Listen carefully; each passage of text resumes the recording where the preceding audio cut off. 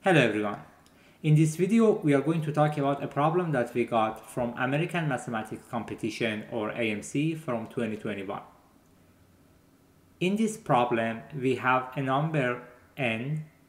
This number has 313 digits and all the digits are 7.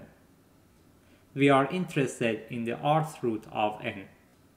Additionally, f of r is defined as the leading digit in the rth root of n.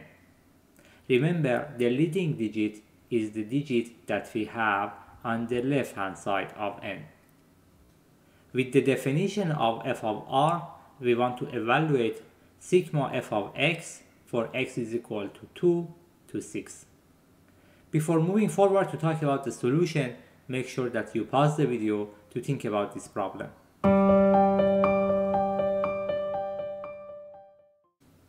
To solve the problem, let's start with a new notation. Remember, f of r is defined as the leading digit for the rth root of n. Now, we just define b of x as the leading digit of x. So for example, when we have n as represented here, then b of n is going to be 7. Now I'm going to show a little bit more about what we are going to do. We have n. n is a big number. It has 313 digits.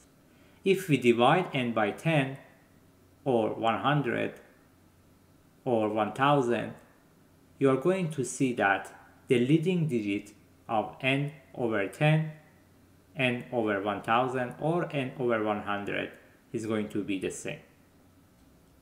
In general, if we divide n by 10 to the power of k, and when we are careful about the value that we pick for k, then the leading digit of n over 10 to the power of k is going to be the same leading digit that we have in n.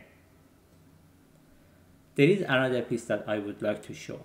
Originally, we were interested in f of r for r between 2 and 6.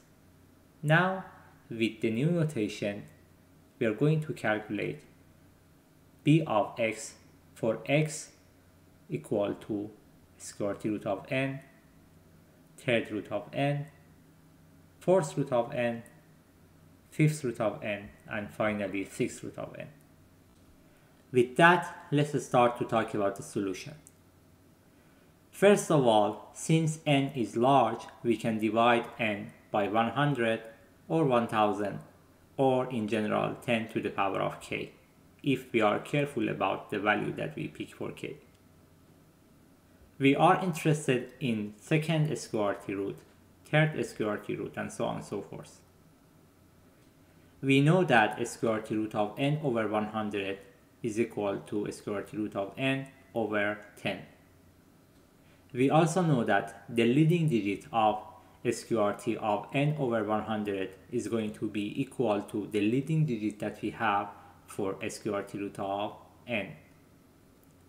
We can use the same approach and say that the leading digit of the third root of n over 1000 is going to be equal to the leading digit of the third root of n. And in general, we can apply the same approach for 10 to the power of k. Now let's extend the approach.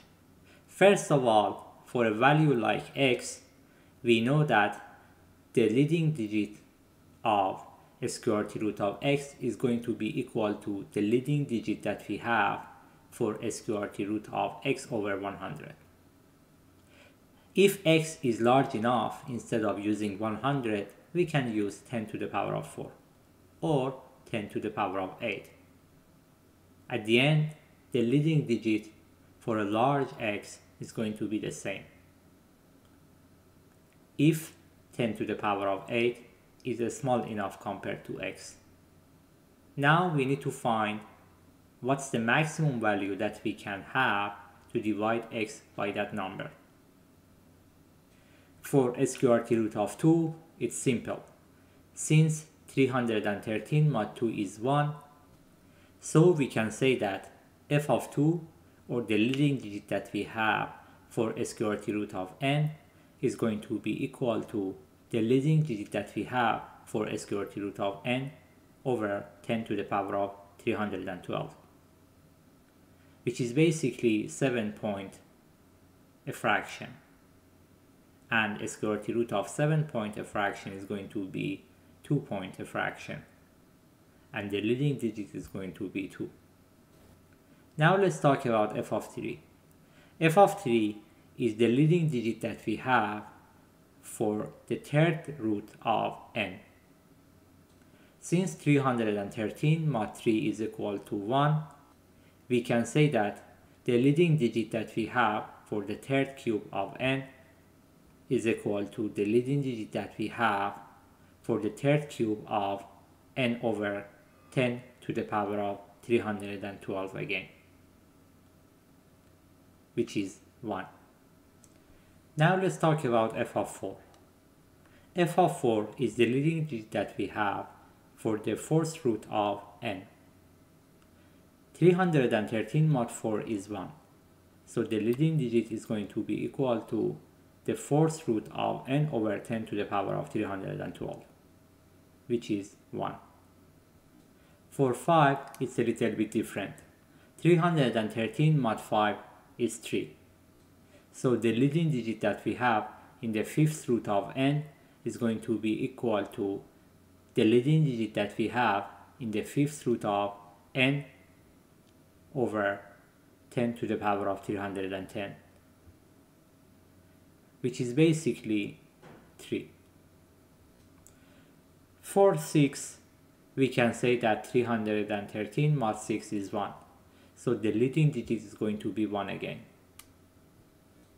At the end, we can say that sigma of f of x for x is equal to 2 to 6 is 2 plus 1 plus 1 plus 3 plus 1 or 8 and that's our final answer. Thanks for watching the video. If you would like to see more puzzle and math involved activities, please subscribe to the channel. This is the SQRT channel.